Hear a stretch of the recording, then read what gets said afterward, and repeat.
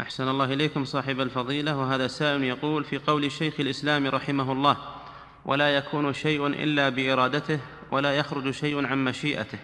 هل هل المراد بالإرادة والمشيئة؟ الإرادة والمشيئة الكونية أو الشرعية؟ لا الكونية لأن المشيئة شيء واحد ما تنقسم. كونية المشيئة لا تكون إلا كونية. وأما الإرادة فتنقسم إلى قسمين إرادة كونية وإرادة شرعية دينية. والمشيئة ترادف الإرادة الكونية. نعم.